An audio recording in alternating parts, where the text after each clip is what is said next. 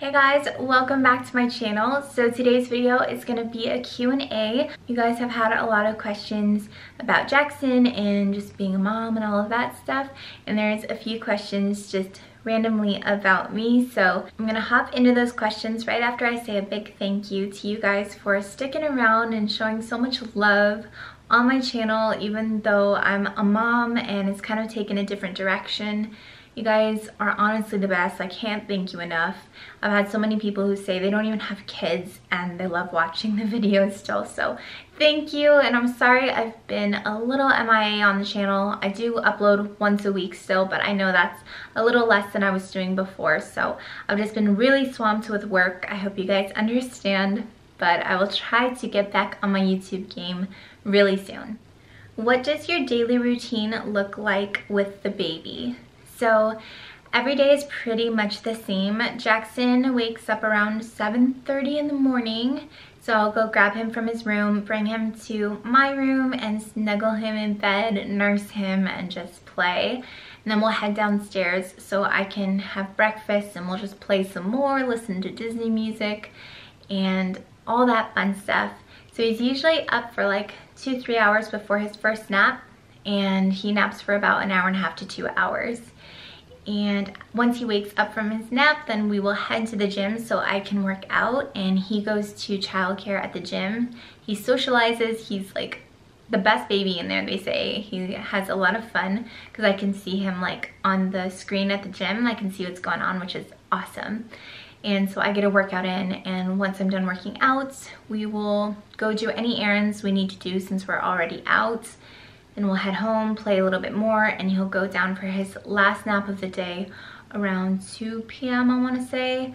And then he wakes up, we play, you know, typical baby mom stuff. And then we will do his bedtime routine, which starts around 6 p.m., which is bath time, lotion, jammies. We read a book, he nurses, and then he goes down around 6.45 or 7. So that's a pretty standard daily routine with Jax. How do you stay so motivated and consistent? You seem to have a lot to juggle and you seriously slay it all. That is very, very sweet of you.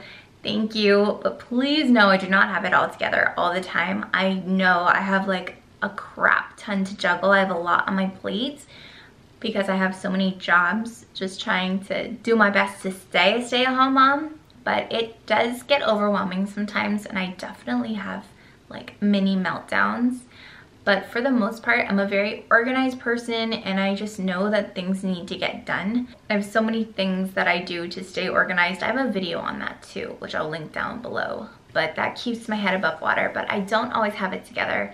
Definitely have days where I'm overwhelmed and I just take too much on. Being a stay-at-home mom who works at home, it's hard to sometimes know if you're doing a good enough job as a mom because you have to work.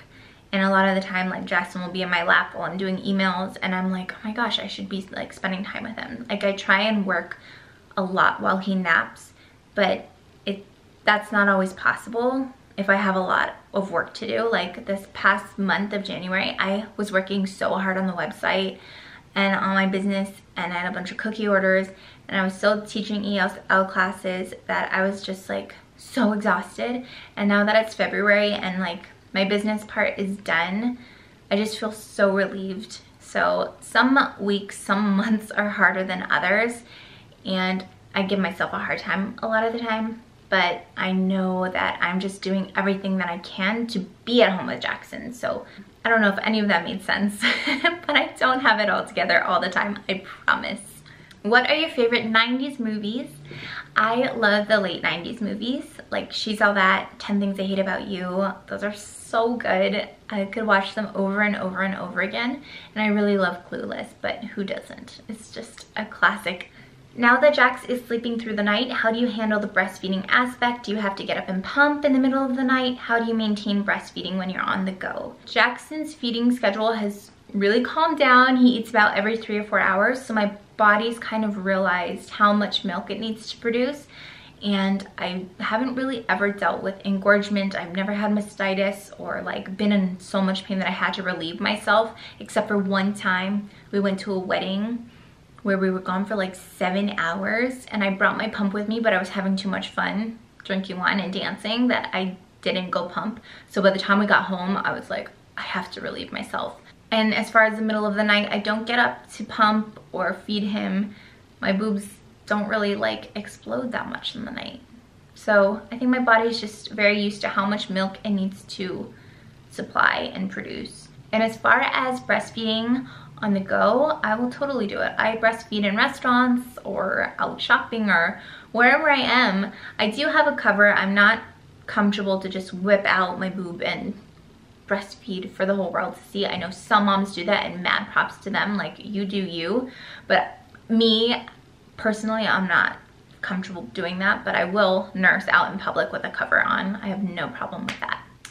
Do you think Jackson will grow up like his mom or dad regarding fitness or being a musician?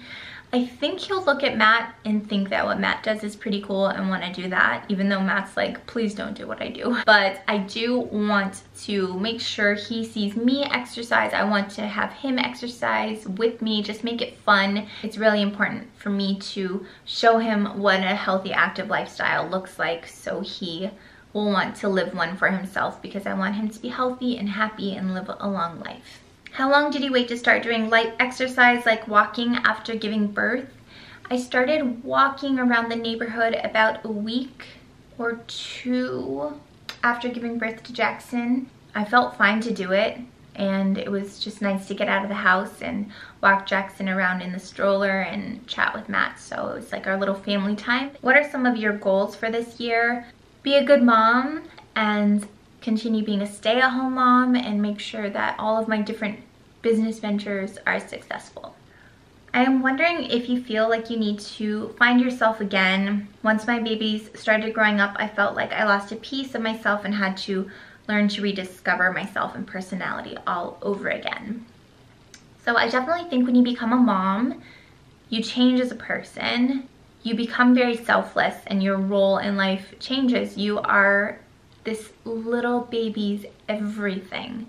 And so I think with that, you can kind of lose a sense of who you are. I think it's so important to get those things back and to make time every week to do the things that make you you and do the things that you love to do. It's very important to get that me time in. And I know it's not always easy, but ask for help. Ask for someone to come watch the little one for maybe an hour just so you can go do something that you enjoy or do something while they're napping. Self-care is so important, so don't lose that part.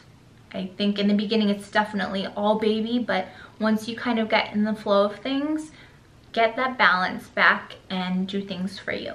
How do you de-stress? I take a bubble bath just about every single day while Jackson is napping or I'll wake up extra, extra early in the morning before he's woken up and I will just soak in the tub. That is my favorite way to de-stress and it's like become a part of my daily routine. I know some moms will think that I'm crazy that I have time to do that. Even if it's literally two minutes of a hot bath, that's all I need. What's your favorite Blessthefall song? I would probably say it is Bottom Feeder, possibly. I think that's the one.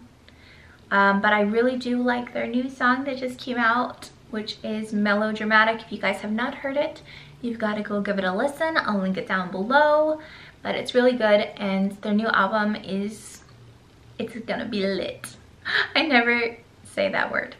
What are some easy meals that you make? I love this easy meal of just roasted vegetables and rice. It's like the one thing that I've been making all the time lately.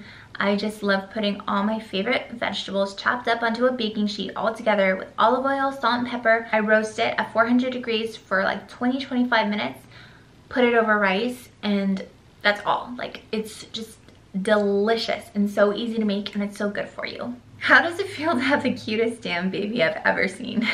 You're so sweet. I love Jackson. I'm absolutely obsessed with him. I think he's the cutest baby in the world, but I know that everyone says that about their own baby.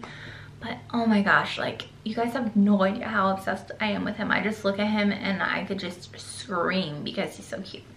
What's been your approach for Jackson's sleep schedule? How did you transition him to his own room? Any advice? So my approach to Jackson's sleep schedule was learning as I went. There's just so much information out there and every baby's different, every parent's different, every schedule is different. So it's really hard trying to like adapt so many other people's ideas into our lives. We definitely tried it. And like if it didn't work, then we'd move on to the next thing. But we just realized, you know, you have to do what you think. You have to do what works for you. And what worked for us was moving him to his own room. He actually slept better there. I've read and spoken to other people who had the same experience that some babies do better closer to their parents and some babies do better further away. So he definitely, I guess, likes his independence. If you could go back in time and do anything in your life differently, what would it be and why? So I'm definitely one of those people who are like, no regrets, everything happens for a reason. I do believe that very much so. There's one thing I wonder about, and kind of regret, and that was regarding me going back to grad school to become a teacher. It just wasn't a job that I was ever interested in pursuing or passionate about and I just felt like I needed a nine to five job. So I went back to school to do that and now I have so many student loans and I'm not even teaching. So that's kind of frustrating and something that I kind of regret.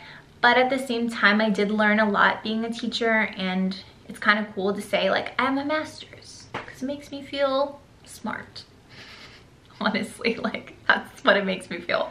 But I do think everything happens for a reason and that was just something that I had to do. And even though I have debt now, I'll figure it out.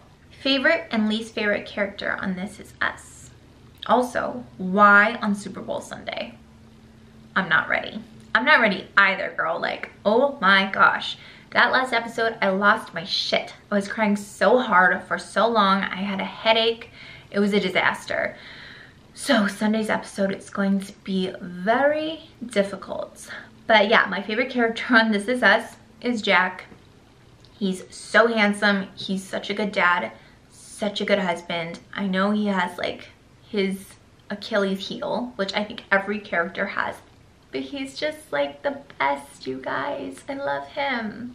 And then my least favorite character is probably Miguel. Not because he was Jack's best friend, but because he just seems very pointless and just like meh. I don't know. I just don't like him. He's kind of pointless. I think they threw in that relationship because they wanted more drama as if we need more drama. But she could have moved on with anybody else. She could have moved on with someone who has a personality, in my opinion. But other than Miguel, I do not like the old man that gifted them the frickin' crock pot. So that will conclude today's Q&A. I hope you guys enjoyed it. Thank you guys so much for watching and I'll see you in the next video if I survive this Sunday's episode of This Is Us. Oh, and happy Super Bowl Sunday. I guess there's that too.